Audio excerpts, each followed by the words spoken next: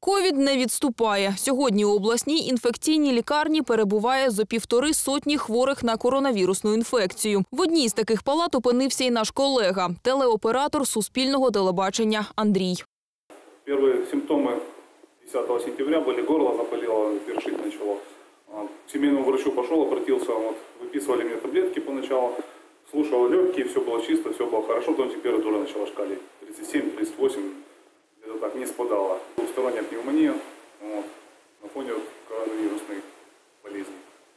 Сейчас здесь уже неделю находимся, врачи отличные, больница хорошо оборудована. Сделали повторный тест, ждем результатов.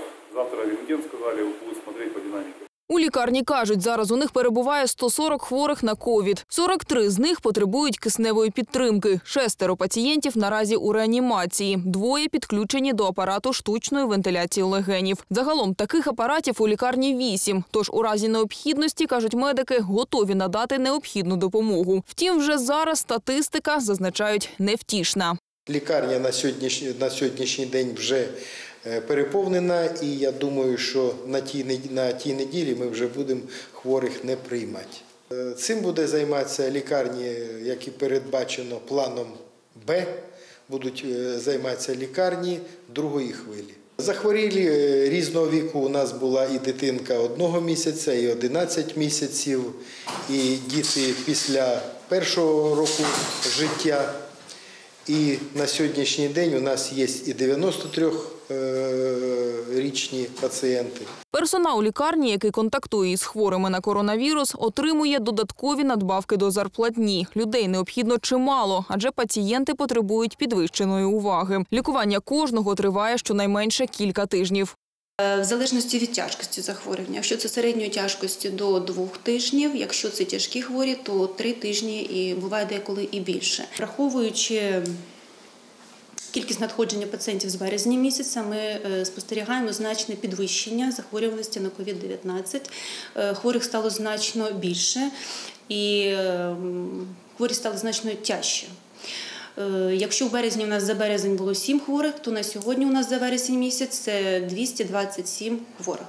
Небезпечний недух виявили і в народного депутата Мусима Гомедова. Зараз він перебуває в Запорізькій інфекційній лікарні. Это бокс, в котором есть э, там коридор дополнительный отдельно. Еда не дается вот через такой шкафчик, чтобы минимизировать контакты с, э, с персоналом. Отношения хорошие.